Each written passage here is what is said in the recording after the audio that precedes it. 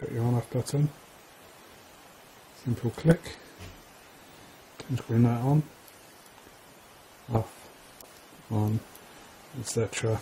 Blah blah blah. Yep, okay. So just simply switch on the camera, just it onto here. It is a bit close and it does cut the signal off straight away, but um, maybe in this series about five seconds, six seconds.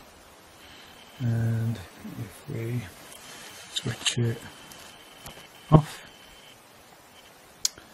service will